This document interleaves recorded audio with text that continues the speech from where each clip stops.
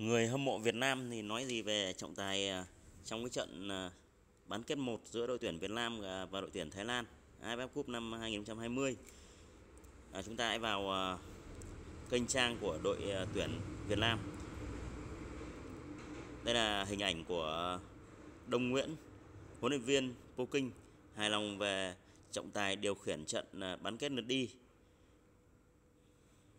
Tôi đánh giá trọng tài đã làm tốt nhiệm vụ của mình ở trận đấu này. Bên cạnh những tình huống lỗi nhỏ thì không thấy bất cứ pha bóng nào mà trọng tài à, mắc lỗi nghiêm trọng.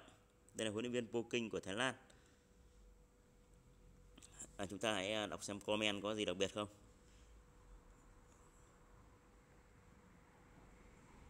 Thắng hên bày đặt à, lỗ cho cố. Nói hay quá.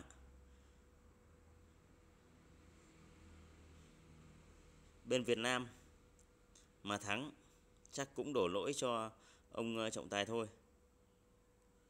Nói chung là đa số những cái bình luận của khán giả Việt Nam thì đều phản đối. Liên đoàn bóng đá Đông Nam Á và cả trọng tài hãy ờ, xem lại trận trận này và hãy suy nghĩ thử đã tổ tổ chức ra cuộc chơi thì nên có sự công bằng. Để bên thắng phải xứng đáng và bên thua thì phải lệ lẻ chứ không phải là thua như thế này. Đứng sau à, đội bóng là cả một đất nước.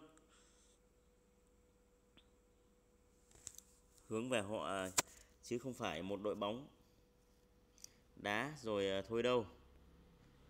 Sinh ra trọng tài để cho công bằng. Trọng tài mắc nhiều sai lầm. Đây là bình luận viên quang huy. Đây là quả chạm tay này không được trọng tài công nhận. Xin vĩnh biệt cụ. À, nói chung là khán giả Việt Nam rất là bức xúc với ông à, trọng tài bắt trận bán kết 1 xin vĩnh biệt cụ. Mong trọng tài khốn nạn này sớm siêu thoát. Một câu nói rất là hài. Trọng tài lên đi à, bắt cái quật què. Cầu cho ông sớm ra đi sớm vào cõi vĩnh hằng. Nói chung là rất bức xúc.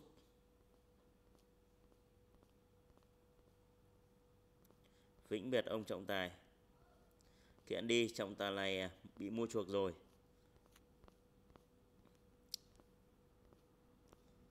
Mong ông lên thiên đường, nghĩ lại việc à, mình làm sai ở chỗ nào. Xin chia buồn cùng gia đình trọng tài. Nói chung là những câu nói à, do bức xúc quá cho nên là ừ, có phần ờ, à, lời nói nó nó cũng ờ, hơi hài một chút. Đây câu nói hài nhất đây cầu thủ xuất sắc nhất của Thái Lan là đây chứ đâu? Tẩy chay trọng tài. Trọng tài mắt mù. Hãy đưa lên ban tổ chức.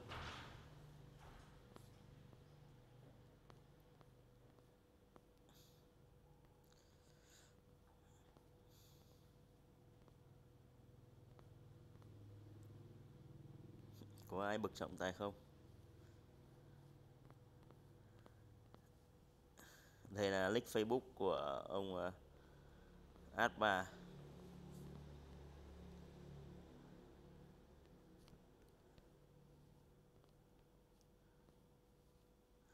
đây là pha thủ môn xuất sắc ừ, nhất của Thái Lan.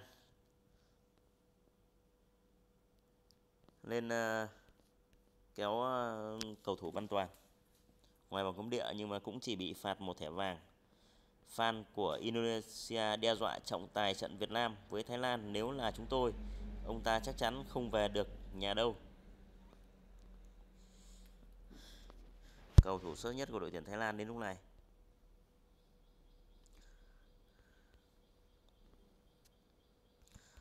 Nói chung quy lại là trận thua của Việt Nam 2-0 trước ờ, đội tuyển Thái Lan thì cũng phải nói đi nói lại là đội tuyển chúng ta thi đấu là cũng thiếu gắn kết. Tuy nhiên những sai lầm của trọng tài cũng ờ, tạo lên một cái ờ, sự thua thiệt đáng kể về tâm lý cũng như về cái sự kết nối của từng cầu thủ với nhau. À, đặc biệt là những pha phạm lỗi có thể nói là bị oan và những cái pha đội bạn đáng ra là phải bị thẻ đỏ mà cũng đáng ra là phải bị penalty cũng không được trọng tài công nhận. Ừ, tuy nhiên thì là bóng đá nó là như vậy. Bóng đá nó là như vậy. À, chúng ta cũng phải chấp nhận rằng chúng ta đã thua hay không và lượt về chúng ta sẽ phải cố gắng hơn. Xin uh, chúc đội tuyển Việt Nam thành công uh, hơn nữa trong trận uh, thi đấu lượt về. Tất cả mọi người luôn đứng về phía đội tuyển Việt Nam luôn ủng hộ Việt Nam cho dù kết quả trận bán kết này à, lượt về này có như thế nào đi chăng nữa? Và cho cho dù chúng ta có thể là không bảo vệ được chức vô địch à, trong năm nay. Đấy, một pha liệt vị rất là rõ ràng à, một pha không liệt vị rất là rõ ràng mà trọng tài lại thổi còi liệt vị. Tuy nhiên thì trận đấu thì cũng đã kết thúc rồi. Xin chúc đội tuyển Việt Nam đá tốt hơn và may mắn hơn trong trận ờ, thi đấu lượt về. Xin cảm ơn tất cả các bạn đã theo dõi video.